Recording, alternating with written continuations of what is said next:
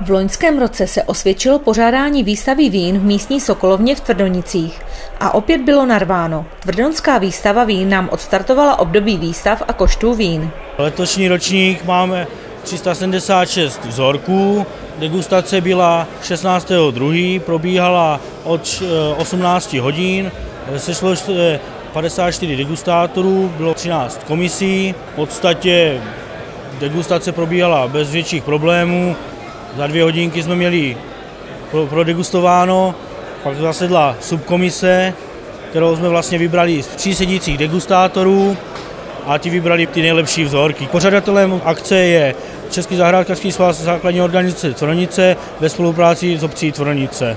Každá taková výstava a degustační komise v Tvrdonicích má svého odborného garanta. Co má garant na starosti, tak na to jsme se zeptali garanta letošní výstavy, pana Mariana Štvrteckého z BM Vinařství. Garantem znamená to, že člověk nad týma degustátorama drží takovou ochranou ruku a je jim ku pomoci, pokud oni jsou nerozhodní, buď i s dobrýma vínama nebo se špatnýma, tak si ho zavolají a on jim pomůže dle svého rozumu jestli je to správně nebo ne, tak jak oni bodují. Teď to možná řeknu tak trošku dramaticky. Musel jste letos zasahovat? Ne, hodnotitele tady na podloží jsou dobří a zkušení, ale sem tam samozřejmě dojde vzorek, který je obtížnější, tak potom ten garant je tu ku pomoci.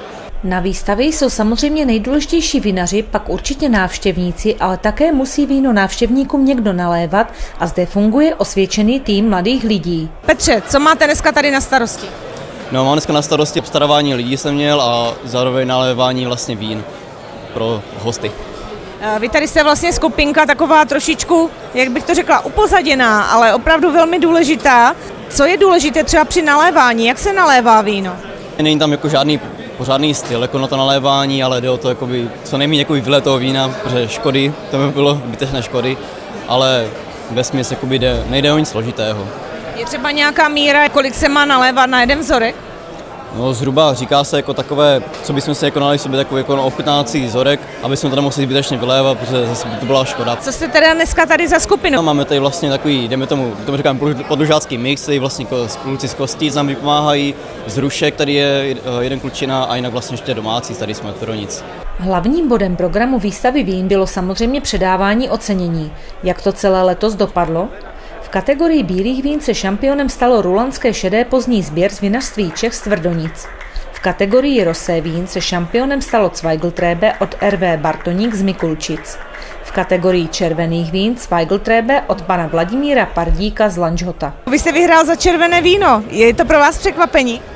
No tak bylo to překvapení, protože uh, celý podzim strašně pršelo a uh, měl jsem strach, že ty uh, hrozny začnou nahnívat, no ale prostě toho napadla, ušlechtila plíseň šedá a tomu dalo tu kvalitu.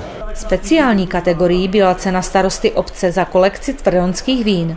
V letošním roce toto ocenění získalo rodinné vinařství Jiří a Miroslav Hasilovi. Pane Hasile, vy jste v loňském roce vyhrál šampiona růžových vín, ale letos jste to povýšil a máte vlastně Eh, šampiona kolekce, celé kolekce vín a šampiona vlastně starosty obce Tvrdonice. Co to pro vás znamená? Co je větší úspěch? Já si myslím, že největší úspěch je, že lidem vlastně to víno chutná a pijí to, mají to rádi. Všechna vína z vítězné kolekce byla ročníku 2023. Čím to, že jsou tak výborná? Hodně slunce, hodně cukru, hlavně dobrá nálada ve sklepě při vinobraní, k tomu dospí, přispívá taky a v rodině. Samozřejmě cenu předával pan starosta, velký milovník vína a také malovinař. Co by popřál vinařům v letošní sklizni? Tak samozřejmě ostré nůžky, když většina možná má postřihané a tak jako e, ve všem e, musíme jim přát jenom to dobré počasí, protože to trošku tady zlobívá, nejenom u toho ovoce, ale někdy u toho vinařství, takže každý tu péči tomu dává, co nejvíc umí do té půdy i eh, do toho vinohradu a tak, aby to každému samozřejmě vyšlo a dělali jsme pořád jenom lepší a lepší vína.